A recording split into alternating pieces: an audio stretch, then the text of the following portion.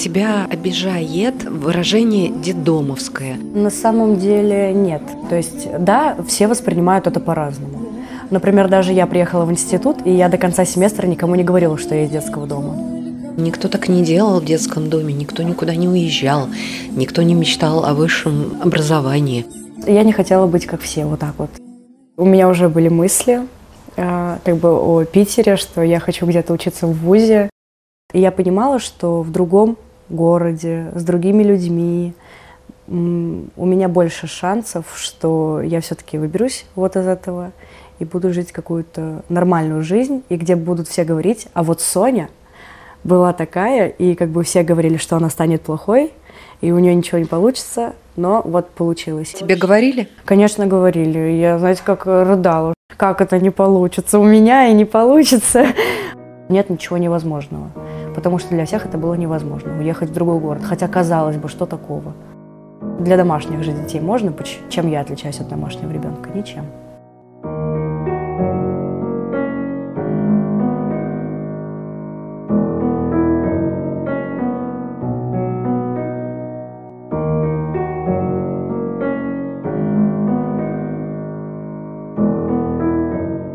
Вот это, наверное, была самая главная группа, где я жила. Вот это мои шкафчики бывшие. Даже, по-моему, моя коробка стоит, если не ошибаюсь, до сих пор. Вот тут вот у меня вот такая вот целая, целый шкафчик был, заняла. Здесь есть фотка, где мы первый раз поехали на телестудию и пробовали себя в роли журналистов. Даже погода радуется тому, что к нам в город приехало столько гостей. Скажите, когда вы были учеником, вас вызывали к директору? Первое мы растеряли, о втором забыли, третье не доделали. Если бы вам сообщили, что время уже скоро кончится, что вас скоро не станет, то есть совсем осталось ну, чуть-чуть, что бы вы сделали в первую очередь? Я вообще учиться не хотела изначально. Когда захотела? После девятого класса. А вот что произошло? Сложно сказать. Я была очень сильно похожа на свою маму, которая жила, так скажем, не очень хорошей жизнью. Что было в моей жизни? Это прям такое э, сложное. В моей жизни почти все было. Мне кажется, я прошла через очень многое в плане детства. Даже тогда сама того не понимая. Развод родителей, алкоголь, наркотики, вот, э, детский дом, побеги, учеты разные, школьные, в полиции, в наркологичке, вот, и, ну да, о каких-то вещах до сих пор очень стыдно, страшно кому-то говорить, и я не всем рассказываю. А когда все это началось? Сколько лет тебе было? Лет 8-9. Соня, почему? Что видела, то и делала. То есть другого перед глазами не было. Я думала, что все так живут. То есть я даже не задумывалась, что можно как-то по-другому. Вот я сколько вот себя вспоминаю, для меня это была нормой. Как бы это было нормой абсолютной. И мне никто не запрещал этого делать. Родители знали? Да. Сейчас я понимаю, что они просто, ну, не могли, они сами не знали, как жить по-другому. А тогда я думала, что им просто все равно. Я помню, меня вот так вот завели вот сюда вот. Я испугалась, там сидят ребята, я, вот здесь стояли парты. Я, я сажусь, вот так вот, я всех боялась. И я еще тогда думала, я точно сбегу отсюда. Сначала отдали меня и младшего брата. То есть не всех отдали. Потом еще и как раз-таки брата с сестрой забрали. Их привезли всех отдельно. То есть Соню с Векой, а потом уже братьев. Они как бы были друг на друга и не похожи внешне, но это была единая семья всегда. Соня держала свою семью прямо в руках своих. И даже когда вот сейчас приехала, прибежала, я к детям, к своим. Мои маленькие. Только не поднимать меня, не поднимать. любовь к вам, как-то забота о вас не могла разве сподвигнуть родителей прекратить вот это все? Как ты думаешь? Ну, любовь тоже, мне кажется, бывает разная. То есть э, каждый проявляет ее как может. Да, я иногда там обижалась и до сих пор иногда обижаюсь. Почему-то там я приехала на три дня, а ты не приехал там, а просто выбрал напиться где-то с кем-то. Для меня ну, это непонятные вещи какие-то, но э, это, наверное, надо просто принять в человеке и как бы он любит так, как может. Если ты любишь как-то по-другому, и ты хочешь, чтобы человек, ну, попытайся ему показать свою вот эту вот любовь, и он тоже в ответ начнет делать то же самое. Я с папой иногда так делаю, там, вот.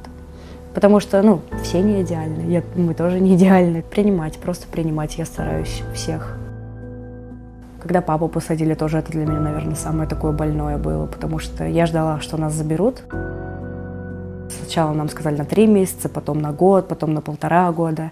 И вот ты сидишь все это время и ждешь, ждешь, ждешь. И в какой-то момент вот этот вот именно щелчок, что, ну, все, кроме тебя у тебя никого нет. Вот. И Это страшно? Да, это страшно, это больно, это обидно. Ты сначала обижаешься, ты обиженный на весь мир. Я очень была обижена на маму, которая там приходила, говорила, что мы вас заберем, там, там, как мы вас любим. Тогда я расценивала это как предательство. Вот. А сейчас я расцениваю это как урок. Сонь, а ты в какой-то момент уже понимала, что мама может умереть от того, как она живет? Да, конечно. Мама умерла в больнице. Я это представляла еще задолго до ее смерти, когда еще было все хорошо, но я просто вот понимала, что ну, наркотики, они... У них исход один, у наркотиков. Точнее, может быть два, это уйти в ремиссию или умереть. У меня странная реакция была, что как будто бы ничего не поменялось, но ты не можешь принять то- тот факт, что ее больше нет. И у меня до сих пор вот это представление, что она дома, что я там в любой момент могу позвонить, написать. Она снилась изначально, я там проспалась, плакала потом. Вот, но мне кажется, что я все равно вот, эт- вот эту вот ее смерть прожила еще задолго до того, как она на самом деле умерла. Когда вот мы попали в детский дом, какое-то время я с ней не общалась, потому что я очень была злая на нее, обиженная на нее. Там, и это, грубо говоря, тоже какая-то маленькая смерть, потому что все равно тебя отдали. Все, ты как бы больше не нужна. И тебе приходится бороться с этим фактом, что ты больше не нужна. Ты сказала алкоголь, наркотики, побеги. Как ты вырвалась? Но на самом деле я это сделала даже не сама. То есть меня буквально вытащили оттуда. И это тоже благодарность, так сказать, в первую очередь родителям за то, что они меня отдали в детский дом. Ведь, ну, вытащили меня, грубо говоря, из этого только в детском доме. Сначала я не понимала, почему меня там держат. Сейчас зато понимаю, что если бы меня пускали куда я хочу и насколько я хочу, то, ну, ничего бы не получилось нормального из меня. Из детского дома директор тоже это близкий человек, потому что она все-таки воспитывала меня полжизни, тоже так же разговаривала со мной, помогала в чем-то, вытаскивала из всяких моих косяков. Я ее часто ругал, на самом деле. Часто на разговоры в кабинет. Но когда в кабинет к директору вызывает, это же как-то не очень приятно. Я ее часто вызывала. Вызывала, и мы спорили с ней, и ругали, и до слез, потом обнимались. Вот. Ну ты поняла? Поняла. Значит, не поняла.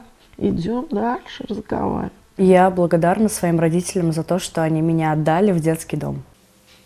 Ты сейчас произнесла фразу, которая, ну, дикая дичь для, наверное, всех будет. Если ты не можешь дать ничего ребенку, то отдай его туда, где ему смогут это дать. А ты мне в снах приснилась. Во снах приснилось? Ага. Что приснилось? Как ты меня в Питер с собой увезла. О, вырастешь, сама поедешь. Нет, Как это нет? с тобой поеду. Со мной?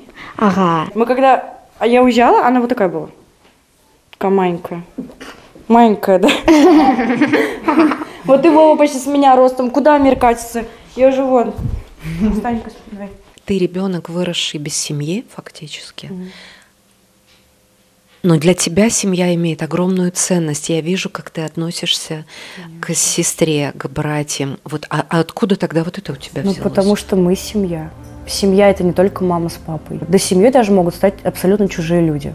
Как сейчас у меня получилось. Вот у меня есть э, два круга семьи, получается. Это вот мои дети. Мы так столиком называем их.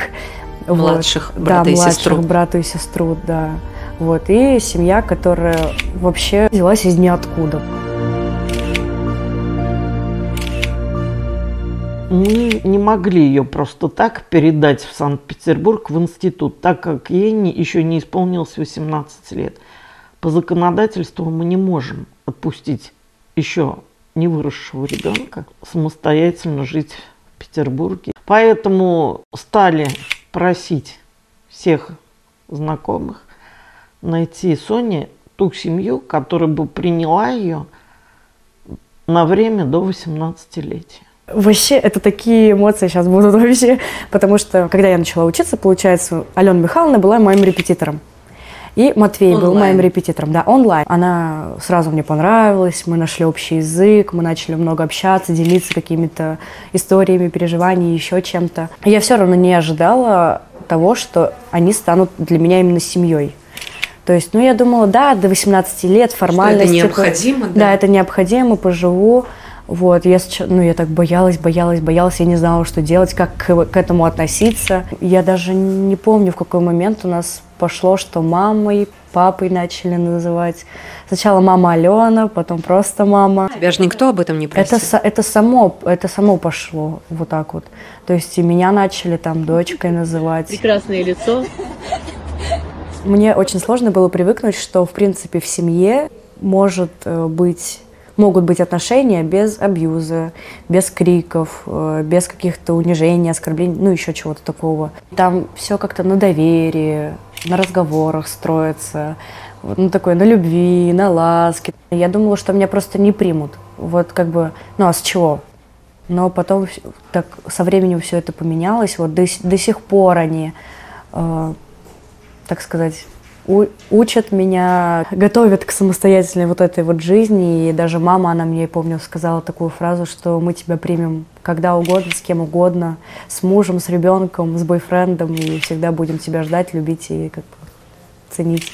Сейчас я даже не знаю, как э, их по-другому назвать, как не мама и папа, потому что, ну, вот это вот яркий пример того, как чужие люди могут стать намного ближе, чем родные. Я смотрю, как делает мама, и стараюсь понять, почему она так делает, и что из этого получается. Стараюсь делать, как она. Говорит, ну, не повышать тон, ну, например, что это как бы сразу ты такая в панику впадаешь. Я стараюсь тоже так делать, и мне это помогает, и мне это нравится, вот. И без них, наверное, я бы я, честно говоря, я не могу представить, что было бы без них. Думаю, я уверена, что все будет круто у меня получится. Вот. И главная цель, наверное, моя – это создать тоже семью. Ну, вот я, кстати, раньше не хотела этого, а сейчас я прям так хочу в будущем. И заслуга их Да, есть в том, что да. ты захотела семью. Да, конечно, потому что я понимаю, что это все-таки их ячейка, а я хочу такую свою ячейку, чтобы там было тоже вот так тепло, уютно, понимающе и как бы в принципе, я уже знаю, когда же мужа выбирать, маму научила. Вот. Она у нас первая такая, да. Все как-то побаиваются идти в 10-11 класс, это сложно. Но она смелая, шагнула. И гордо теперь рассказывает, где она учится. Перед тем, как ее отправить в Питер, мы с ней пошли в храм вдвоем. Я говорю, давай каждый задумает то, что он хочет, чтобы все сбылось. И спасибо, конечно, всем, кто ей помог, на самом деле. Воспитывали мы ее долго, ну, вот так вот раскрыли руки. Лети, моя голубка. Надо просто смотреть и делать. Главное делать, обжигаться, учиться на своем опыте, падать, все равно вставать. Ну, главное вот не опускать как раз-таки руки и дети, которые выходят из детского дома, и у них ничего не получается. Это же тоже как пример и опыт для тех, кто выходит в дальнейшем.